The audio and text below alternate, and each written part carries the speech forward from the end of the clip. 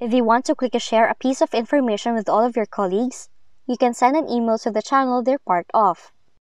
But sometimes, this feature is unavailable and the channel email is not working.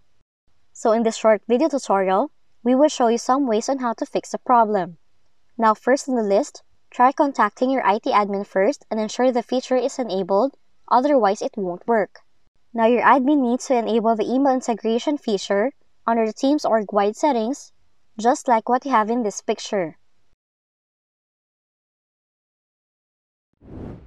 Next, you should also need to contact the team owner or the channel moderator and ask them to check if you're allowed to send emails to the channel.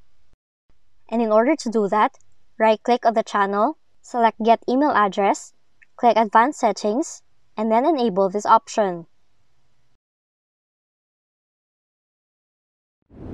Now this problem also occurs if the SharePoint folder associated with the channel you're trying to send an email to has been renamed, deleted, or failed to sync, and you won't be able to send out your emails.